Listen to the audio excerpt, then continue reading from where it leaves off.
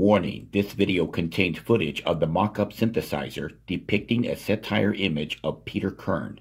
If such depictions are objectable or sensitive to your nature, please abstain from viewing this video.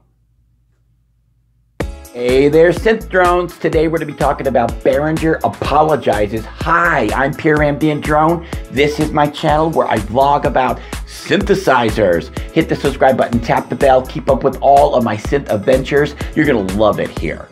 PureAmbientDrone.com is the place to be if you want to connect with me. PureAmbientDrone.com. Behringer apologizes. Check it out.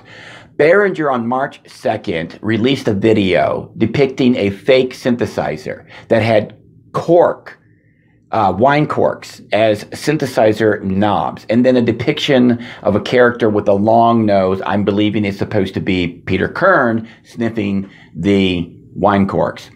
Um, Peter Kirn is a person who brought up a lawsuit that Behringer was involved in, or at least attempted against DSI, and some people posting on the internet their opinions and uh, their thought process about Behringer's company, about the Behringer uh, company, I should say.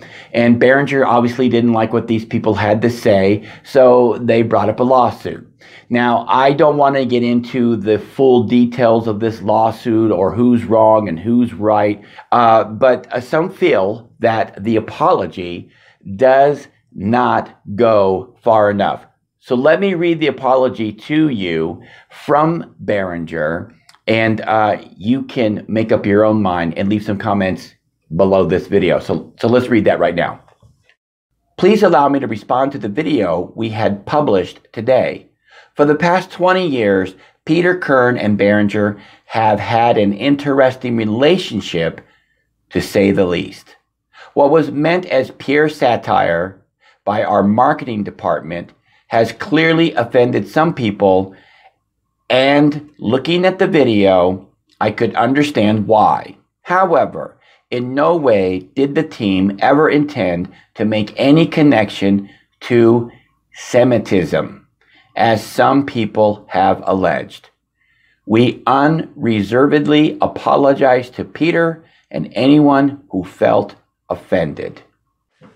So there you have it. There is an apology from Yuli, and some people are making the connection in this apology that maybe perhaps Yuli is actually blaming his marketing team rather than taking responsibility himself. Uh, what do you guys think? Do you think that this is okay? Do you think that this is blown out of proportion? Are you offended? If you leave a comment on this video, please keep it civil. I don't mind freedom of speech, but we have to be sensitive to those who may be reading the comments on this video and some things that are said can be very, very offensive to some others. So please keep it respectful, kind, professional, and intelligible. Until next time, I am Pure Ambient Drone. Keep calm and synth on.